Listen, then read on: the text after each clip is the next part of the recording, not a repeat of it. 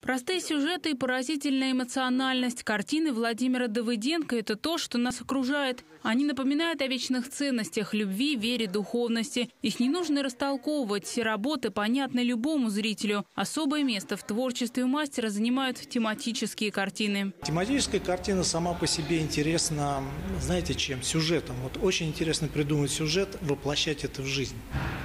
Ну, не, всякое, не всегда, конечно, может быть сюжет интересен, но если художник вникает в суть проблемы, если он открывает какую-то тему глубоко, ему это всегда очень интересно. Именно так и произошло с картиной «Радость жизни». Эта работа пользовалась большим успехом на областной выставке еще в 2006-м. Через образ простого монаха художник показал, что истинная радость жизни в простых мелочах. Я хотел показать, э, что есть люди, которые довольствуются малым.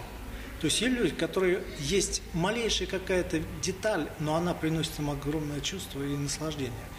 А есть люди, которые имеют все, они очень богаты, у них есть все, но они ничего не радуются. Портреты, пейзажи, натюрморты зрителям представили более 20 работ, написанных в период с 2000-х по 2016 годы. Выставка «Чистый родник» посвящена юбилею Владимира Давыденко. В прошлом году живописцу исполнилось 50, 30 из которых художник пишет профессионально. Картины Давыденко, они вызывают сразу э, в душе добрые, приятные чувства, потому что это ну, на, наш окружающий мир, мы узнаем в этих картинах наши родные места э, или какие-то моменты э, в нашей жизни. Отражение его души во вкусе природы, в красоте души человека, простого человека. Планах у Владимира Давыденко написать картины военной и библейской тематики, а посетить эту выставку в Доме мастера все желающие могут до 15 мая. Юлия Нечаева, Ольга Бугакова, Дмитрий Кузнецов. Липецкое время.